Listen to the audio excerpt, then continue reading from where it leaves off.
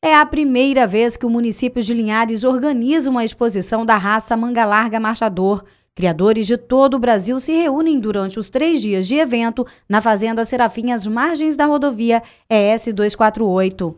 Né, o manga larga no norte tem crescido bastante, né, para você ter uma noção, eu particularmente, meu Aras é aqui em Linhares, mas eu moro nos Estados Unidos, né, e vim aqui para prestigiar este evento neste momento. Eu vim aqui em Linhares, é, sim, inclusive pelo Manga Larga Machador e sim pelo evento, né, e prestigiar a cidade, né, que é muito importante. Que é uma etapa, uma das últimas classificatórias que nós temos dentro do estado aqui do Espírito Santo. É, é muito importante porque o número de animais que está dando nessa exposição vai ser um número bem objetivo, aonde tem vários campeões e da onde daqui pode sair um grande campeão que pode chegar nessa exposição e fazer um grande campeonato, né, trazer esse título para o nosso estado. Concursos que vão ter aqui nesse final de semana são concursos que vão avaliar marcha e morfologia, né? E onde vai ter a morfologia avaliando as belezas ou a técnica do cavalo, né?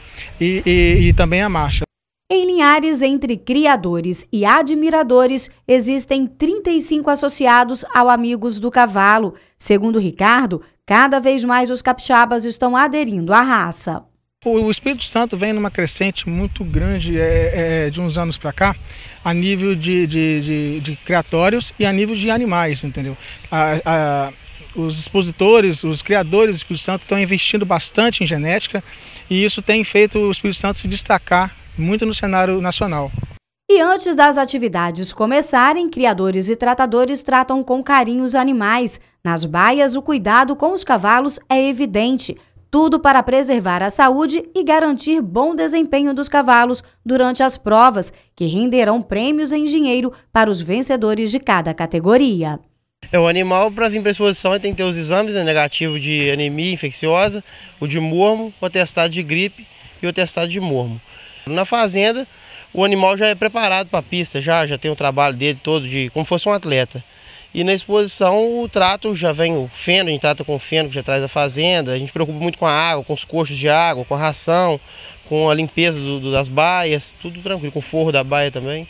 Ao todo, 150 cavalos da raça manga larga machador participam da exposição aqui no município de Linhares.